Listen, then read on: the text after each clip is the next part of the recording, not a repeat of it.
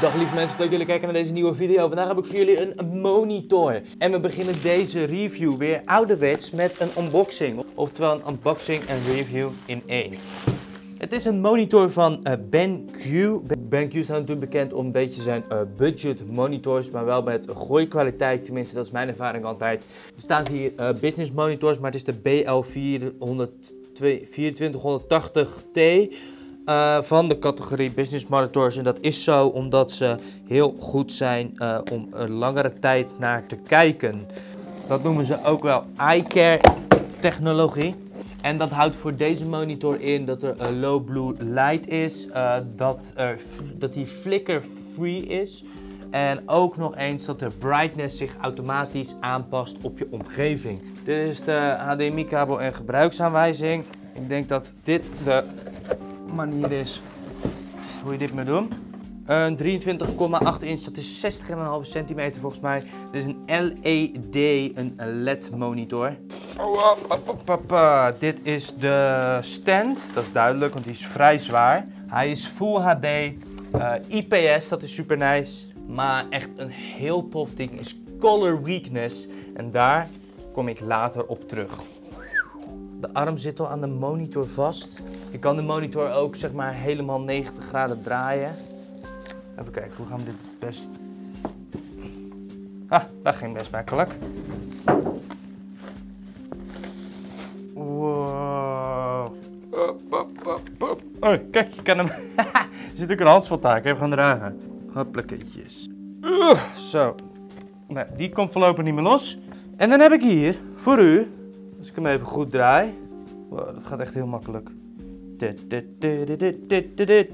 Naar beneden. Omhoog. Dames en heren, de BenQ BL2480T. Ik kan niet wachten om aan te sluiten, helemaal te testen. En dan zie ik jullie bij de review.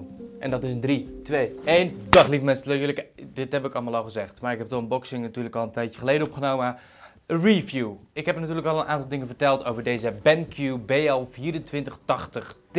Hij is 23,8, dus laten we zeggen 24 inch. Dit is niet super groot, maar uh, ik denk voor velen wel gewoon een netjes formaat. Het is een IPS monitor en dat betekent dat je hem van vele hoeken uh, goed kan zien. En dit is ook zeker het geval. Uh, het is gewoon Full HD. Eigenlijk niks waarvan je uit je stekker schiet en denkt van wow. Maar deze monitor heeft een hele mooie prijs van nu direct op bol.com te krijgen voor 139 euro. Maar dat is ook de eerste link die ik in de beschrijving zet. Dus klik daar even voor de actuele prijs. Dan kan je natuurlijk denken, ja, niet zo heel veel geld, maar ook niet zo heel veel bijzonders. Maar dit is dus niet het geval. Want naast gewoon de normale dingen die super netjes zijn, eh, vind ik toch echt wel een aantal dingen aan deze monitor echt heel erg tof. Om te beginnen, voor die prijs zitten er speakers in de monitor. Niet dat je denkt, daar ga ik even een paar uur muziek op luisteren. Maar er zitten daadwerkelijk speakers in de monitor die voldoen aan even wat laten horen aan iemand. Of dat soort simpele dingen. Daarnaast zit er een net gat in de poot, waardoor je makkelijk de kabels heen kan halen voor je cable management. Je kan de monitor 90 graden draaien verticaal neerzetten. Super fijn. De build quality, daar heb ik nog niet eens over gehad. Hij zit in de categorie business monitor. Dat betekent voor mij dat de looks een beetje moi zijn. Maar de bouwkwaliteit is echt super nice. Hij is stevig. Hij staat goed op zijn poot. Het is een, een, niet fragiel. Je hebt niet het gevoel dat er random iets af kan breken. En dat is echt weer een dikke plus 1. De randen van het scherm aan de zijkanten zijn ook echt super netjes. Dus om twee van dit soort schermen naast elkaar te zetten, ziet er denk ik ook heel tof uit. Juist omdat het zo'n robuust scherm is, heb je echt zo'n stevig uitziende setup gebouwd. Maar naast deze toffe dingen voor die prijs wil ik heel graag nog een aantal dingen aanhalen. En dat is één, Eye Care Technology. En dit is gemaakt zodat je zo lang mogelijk naar het scherm kan kijken zonder dat je zere ogen krijgt. Dit houdt in dat die flicker free is. Uh, daarnaast is de low blue light, dus dat betekent dat hij verschillende standen heeft om het blauwe licht te verminderen. Dit is super chill voor als je bijvoorbeeld uh, naar bed wil gaan en alvast minder blauw licht tot je wil nemen. Want daar slaap je heel erg slecht van. En automatische brightness. Je ziet het op uh, dure laptops dat die automatisch de helderheid aanpast. Maar hier onder het scherm zit een klein sensortje, sensor, sensoretje sens. En daarmee meet hij, net als in de duurdere laptops, het licht van zijn omgeving en past hij dat dus aan. En dan als laatste color weakness. Wat houdt dat in? Color weakness is gemaakt voor mensen die kleurenblind zijn. Of in ieder geval slecht kleuren kunnen onderscheiden.